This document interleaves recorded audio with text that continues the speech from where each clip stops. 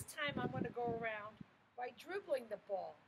Hand on the top, I'm going to walk and maneuver all around each bean cage. Keep my pencil hand on the top to make it easy for myself. If it's really difficult, I can use two hands to bounce the ball. The next time I go by, I'm going to pick up the Beanie Babies.